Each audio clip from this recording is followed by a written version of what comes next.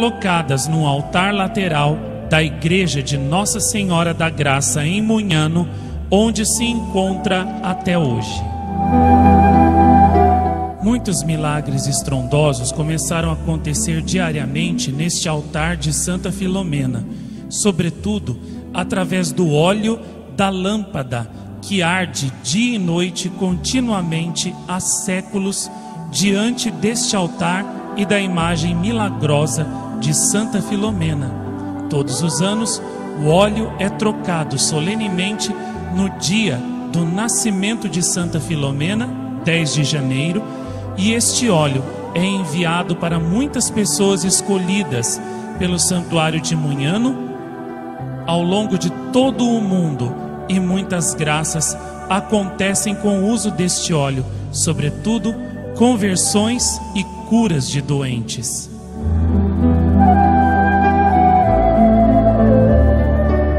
Santa Filomena estava definitivamente em Munhano. Mas até então ninguém sabia nada de sua vida. Ela mesma resolveu este problema, revelando toda a sua vida, aparecendo a várias pessoas que não se conheciam, que moravam em países e épocas diferentes e contando a elas como tinha sido martirizada e como se tornou uma das maiores santas do paraíso. As revelações que Santa Filomena fez a essas pessoas coincidiram e, surpreendentemente, eram as mesmas. Uma dessas pessoas era o grande santo de Ar, São João Maria Vianney, cujo corpo está milagrosamente incorrupto em Ar, França. Outra pessoa a quem Santa Filomena revelou a sua vida foi Madre Maria Luísa superiora da congregação das Dores de Maria, que morreu em odor de santidade no ano de 1875 em Nápoles, Itália. Eis a revelação que Santa Filomena deu a ela de sua vida. Minha querida irmã, eu era filha do rei de um pequeno estado grego. Minha mãe também era de sangue real. Como não tinham descendência, meus pais ofereciam constantemente sacrifícios e preces aos seus falsos deuses para alcançarem a graça de um filho. Estava nesse tempo com a nossa família um doutor romano chamado Públio, agora santo da corte celeste, apesar de não ter sido mártir. Impressionado com a cegueira espiritual dos seus soberanos, e, comovido com a mágoa que eles manifestavam, foi inspirado pelo Espírito Santo a falar-lhes da nossa fé e a afirmar-lhes que as suas orações seriam ouvidas se eles abraçassem a religião cristã.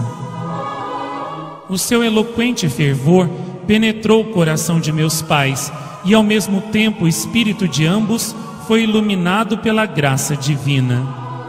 Depois de madura deliberação, receberam finalmente o santo sacramento do batismo.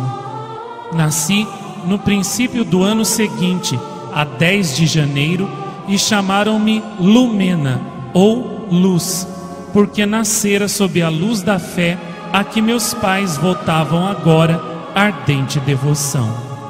Deram-me no batismo o nome de Filomena, isto é, amiga da luz, que me iluminou a alma pela graça desse sacramento. Meus pais dedicavam-me a maior afeição possível e meu pai não podia conformar-se com a ideia de me ter fora das suas vistas. Por este motivo, quando eu contava 13 anos, acompanhei-os a Roma. Esta viagem foi efetuada em consequência da declaração de guerra que injustamente nos foi feita pelo soberbo e poderoso imperador romano. Reconhecendo a sua fraqueza, meu pobre pai partiu para Roma na esperança de obter a paz com o imperador. Minha mãe e eu o acompanhamos e estivemos presentes na audiência que o tirano lhe concedeu. Que extraordinário destino que me esperava! Enquanto meu pai calorosamente advogava a sua causa, tentando defender-se, o imperador lançando-me furtivos olhares cintilantes, respondeu: Não te assustes mais. Podes estar absolutamente descansado, que não há motivo para ansiedade. Em vez de te atacar, porei as forças do império ao teu dispor, com a condição de que me darás em casamento a mão da tua encantadora filha Filomena. Meus pais concordaram plenamente com a proposta e, ao regressarmos à nossa pousada, tentaram convencer-me de que eu, na verdade, me deveria considerar felicíssima como imperatriz de Roma. Recusei a proposta sem um momento de hesitação e declarei-lhes que já me havia tornado esposa de Jesus Cristo por um voto de castidade quando tinha 11 anos. Meu pai, então, por todos os meios, diligenciou provar-me que uma criança da minha idade não podia dispor de si própria como lhe aprovesse, e invocou toda a sua autoridade para me obrigar a obedecer. Mas o meu divino esposo deu-me a necessária coragem para permanecer firme na minha resolução e disse então a meu pai: Não obedecerei, meu coração é apenas de Jesus Cristo. Quando o imperador foi informado da minha resposta, considerou-a mero pretexto para lhe sermos desleais e disse a meu pai: Tragam-me aqui a princesa Filomena e eu verei se posso convencê-la ou não. Meu pai foi me buscar, mas vendo que a minha resolução era inabalável, ele e minha mãe se lançaram aos meus pés, suplicando-me que mudasse de propósito. Filha, tem dó de teus pais, tem piedade do nosso reino. Eu respondi que os meus pais e o meu reino eram o céu. Deus e a minha virgindade estavam para mim acima de tudo mais.